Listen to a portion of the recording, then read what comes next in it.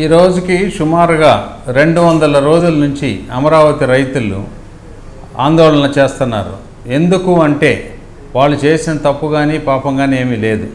ముఖ్యంగా అప్పటి ముఖ్యమంత్రి చంద్రబాబు నాయుడు గారు అమరావతిని రాష్ట్ర రాజధానిగా ప్రతిపాదించినప్పుడు మొత్తం రాష్ట్రం మొత్తానికి ఉపయోగపడుతుంది అది ఒక సెంట్రల్ ప్లేస్లో ఉంటుంది అని ఒక సదుద్దేశంతో ఈ రైతులందరూ కూడా ముందుకొచ్చి వాళ్ళు పదిహేను వందల గజాలు అడిగారా రెండు వేల గజ- గజాలు అడిగారా అనేది ఇప్పుడు అసందర్భం ఏదో ఒక పన్నెండు వందల గజాలు తీసుకొని వాళ్ళ భావితరానికి అమరావతి అనేది ఒక రాజధానిగా ఉంటుంది. భావితరానికి ఉపయోగపడుతుందనే ఉద్దేశంతో రైతులందరూ ఇవ్వడం జరిగింది. మనం సాధారణంగా చెప్పుకుంటుంటాం ప్రభుత్వం అనేది నిరంతరం అని రాజకీయ పార్టీలు వస్తూ ఉంటాయి పోతూ ఉంటాయి అని చెప్పి. రాజకీయ పార్టీల ద్వారా ఎన్నుకోబడి అంటే ప్రజాస్వామ్యం ద్వారా ఎన్నుకోబడి వచ్చిన వ్యక్తులు ఒకవేళ తర్వాత వచ్చిన వాళ్ళకి ఇష్టం లేకపోతే దాన్ని కొంత తగ్గించవచ్చు ఎక్కువ చేయొచ్చు స్పీడ్గా చేయొచ్చు కొంచెం స్లోగా చేయొచ్చు.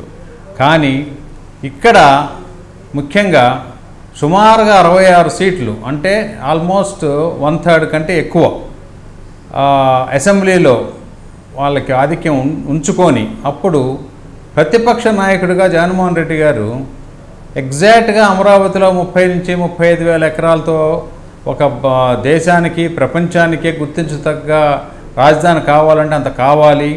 ఇదే సెంట్రల్ ప్లేసు అని చెప్పి యాజ్ ఏ అపోజిషన్ పార్టీ లీడర్గా సపోర్ట్ చేసి తర్వాత జగన్మోహన్ రెడ్డి గారు ముఖ్యమంత్రి అయినాక దీన్ని అసలు ఏమీ బేసిస్ లేకుండా కేవలం కక్ష సాధింపు చర్యగానే తీసుకొని అమరావతి నుంచి మేము తరలిస్తామని చెప్పి ఇష్టానుసారం స్టేట్మెంట్స్ ఇవ్వటం వలన మంత్రులు ఒకటి ఇవ్వటం ముఖ్యమంత్రి గారు ఒకటి ఇవ్వటం సంవత్సరం మొత్తం కూడా కాలయాపన చేయడం జరిగింది.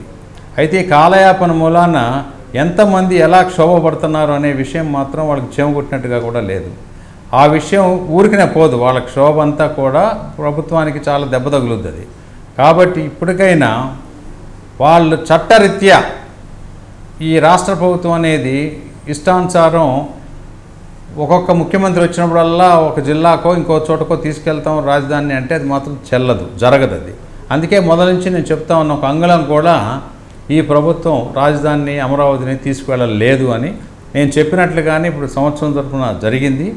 ఇప్పుడు కూడా రైతులు ఆందోళన చెందపడ చెందపాకండి మీ ఆరోగ్యాలు పాడు చేసుకోపాకండి ధైర్యంగా ఉండండి. సరైన సమయంలో కేంద్ర ప్రభుత్వం కూడా డెఫినెట్గా ఇన్వాల్వ్ అయ్యి మీకు అందరికీ కూడా న్యాయం చేకూర్చే విధంగా ఉంటుంది.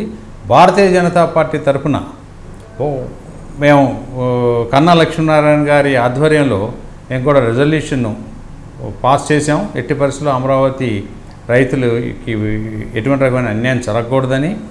రాజ్యాంగం ప్రకారం కూడా వాళ్ళు చేయలేరు చేయలేరు చేయలేరు. అందులో అనుమానం ఏమీ లేదు. కానీ ప్రస్తుతానికి మీరు అందరూ ఇబ్బంది పడుతున్నారు. ఆ విషయం అందరికీ తెలుసు. ఈ కరోనా నేపథ్యంలో కేంద్ర ప్రభుత్వానికి దృష్టిలో కూడా ఇంకెక్కువ మనం తీసుకెళ్ళలేకపోయాం. మా సానుభూతి మీకు వెళ్ళవేళ్ళ ఉంటుంది. మీరు ఎక్కువ కంగారు పడి ఆరోగ్యాలు పాడు చేసుకోబాకండి. మీరు పట్టుదలగా అలాగే ఉండండి. డెఫినెట్గా అమరావతిలోనే మన రాష్ట్ర రాజధాని ఉంటుంది. ఈ రాజధాని తరలింపు అనేది ఒక్క ఈ ఇరవై తొమ్మిది గ్రామాలకు సంబంధించింది కాదు. దీనివలన ఇబ్బంది పడేది ఒక ఇరవై తొమ్మిది గ్రామాలు కాదు. పదమూడు జిల్లాల్లో మన యువతి యువకులందరికీ కూడా రాబోయే రోజుల్లో ఒక గ్రోత్ ఇంజిన్ అనేది లేకుండా పోతుంది. అంటే ఇప్పుడు హైదరాబాద్ అనేది ఉమ్మడి ఆంధ్రప్రదేశ్లో ఉన్నప్పుడు ఎవరైనా సరే ఒక ఉద్యోగానికో దేనికైనా ఇక్కడికి వచ్చేవారు. ఇది ఒక ఒక అద్భుతమైన నగరం కింద పెరిగింది. అట్లాగే ప్రతి రాష్ట్రానికి తమిళనాడుకి మెడ్రాసు కర్ణాటకకి బెంగళూరు అట్లా ప్రతి రాష్ట్రానికి ఉన్నాయి. మన ఆంధ్రప్రదేశ్ రాష్ట్రానికి కూడా అమరావతి అనేది ఉండాలి. చెట్టుకొకటి పుట్టకొకటి ఉండకూడదు. ఒకవేళ రాయలసీమ వీళ్ళందరూ ఏంటంటే ప్రాంతీయ విద్వేషాలు తీసుకురావడానికి రాయలసీమ నార్త్ కోస్ట్లు కోస్టులు అని పెట్టారు. రాయలసీమలో హైకోర్టు తీసుకెళ్తే తప్పేమీ లేదు. కానీ దానివల్ల రాయలసీమకు ఒరిగేది ఏమిటి? ఆర్థికంగా ఏమి బెనిఫిట్ అవుద్ది? అట్లాగే అమరావతిలో కేవలం అసెంబ్లీలు ఉంచితే అమరావతి ఏరియా ఎలా పెరుగుద్ది? ఆ ఆ ల్యాండ్లన్నీ కూడా వాళ్ళకి వీళ్ళకి పంచిపెడతానంటాం ఇవన్నీ కూడా చాలా అస- అసాంకేతికంగా ఉన్నాయి. భారతీయ జనతా పార్టీ తరఫున ఒక రాజ్యసభ మెంబర్ ఆఫ్ పార్లమెంటుగా నా ఛాయశక్తిలో నేను కష్టపడి అమరావతి రైతులందరికీ న్యాయం చేకూరే వరకు కష్టపడతానని నేను హామీ ఇస్తున్నాను.